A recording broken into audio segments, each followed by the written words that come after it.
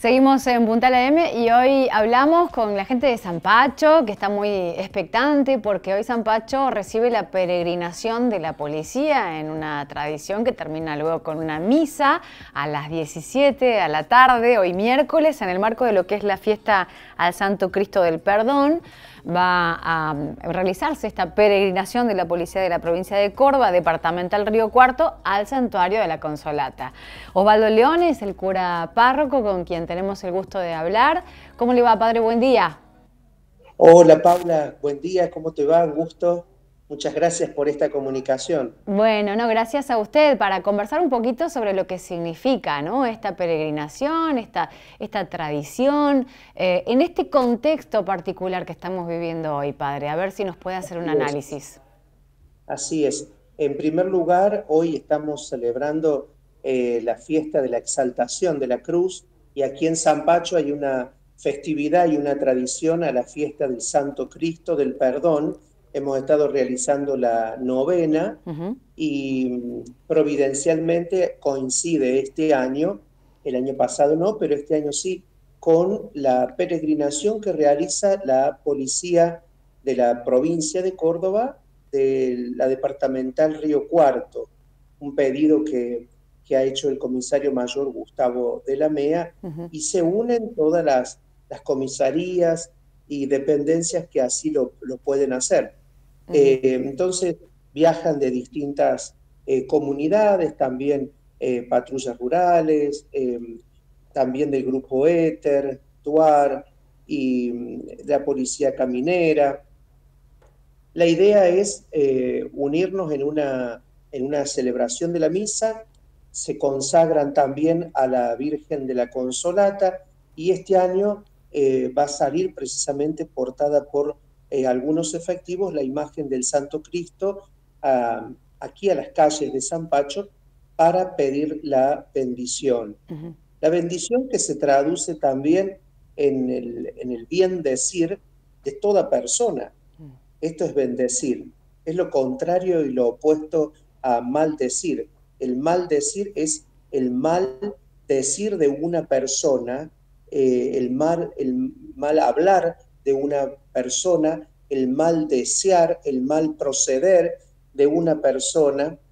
Y el bendecir es pedir la bendición, pero también eh, procurar hacer el bien de parte de cada uno de nosotros como ciudadanos en una sociedad eh, que está un poco eh, violentada, crispada, es violenta, que lo vemos, que hay muchos males que afectan a nuestra sociedad eh, y a diario lo podemos ver. Sí, eh, justo pensaba, padre, cuando hacía alusión al, bendecir, al decir bien, en el marco de, un, de, una cantidad de discursos de odio que se han puesto sobre el tapete de nuevo ¿no? este, en, nuestro, en nuestro contexto sociopolítico actual, eh, bueno, reforzar la idea de, todo lo opuesto ¿no? en, este, en esta reunión que va a tener lugar hoy.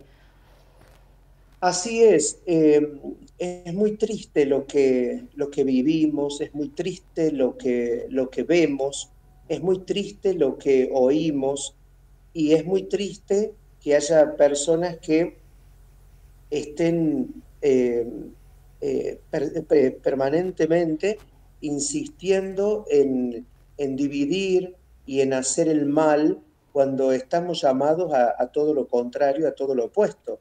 Eh, parece que, que fuera más rápido este mal que el bien. Sin embargo, hay muchas personas, gracias a Dios es la mayoría, muchas personas que quieren y que hacen el bien en nuestra sociedad. Lo que pasa es que este mal eh, por allí hace más ruido. Lo vemos a diario.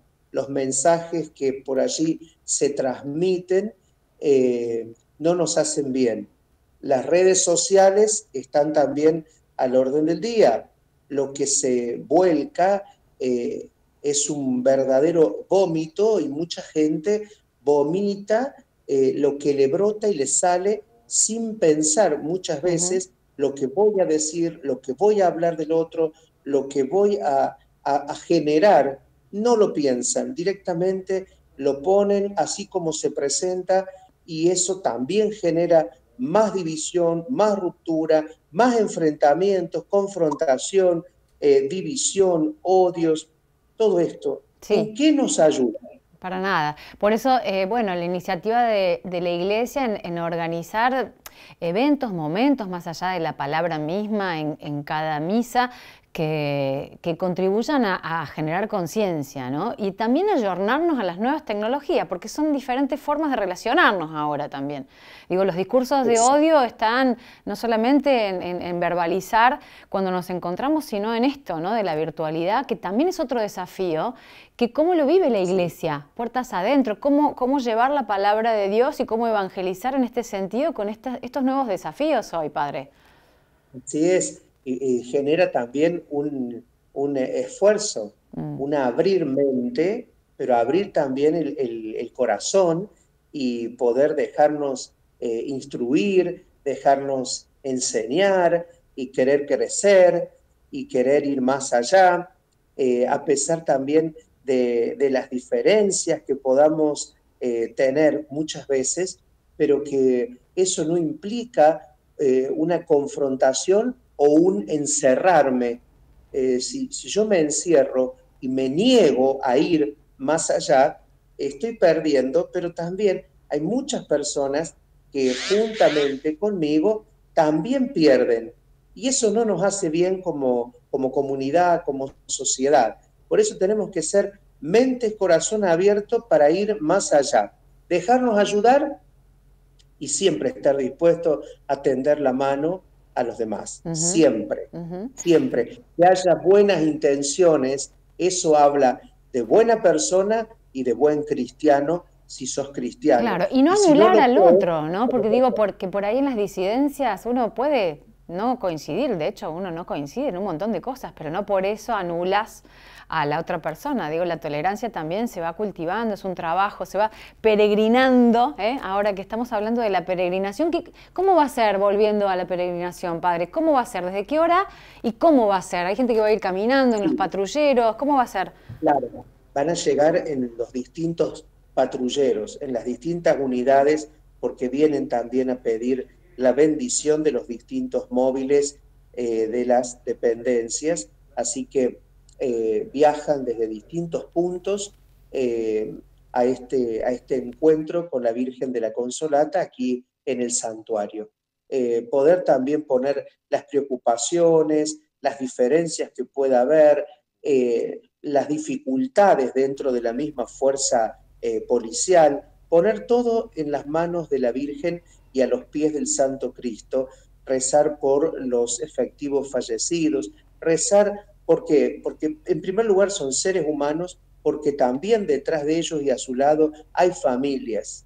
Y es bueno que se puedan y que podamos encontrarnos em, y que podamos rezar juntos, que tengamos em, eh, un mismo latir, en un mismo corazón, aquí junto a la Madre de la Consolata. Bien, y a las 17 va a ser la misa, ¿no? La misa de consagración a la Virgen.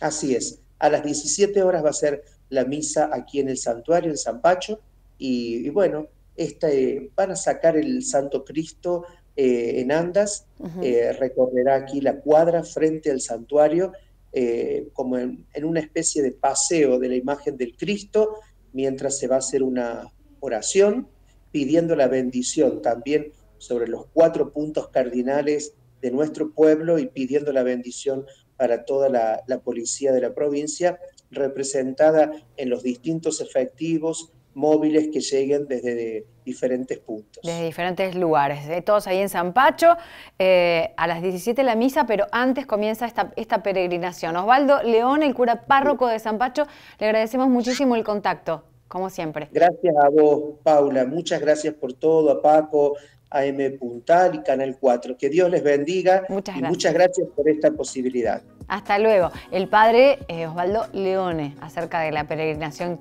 de toda la, policía de la provincia, en la departamental Río Cuarto, eh, hoy en San Pacho.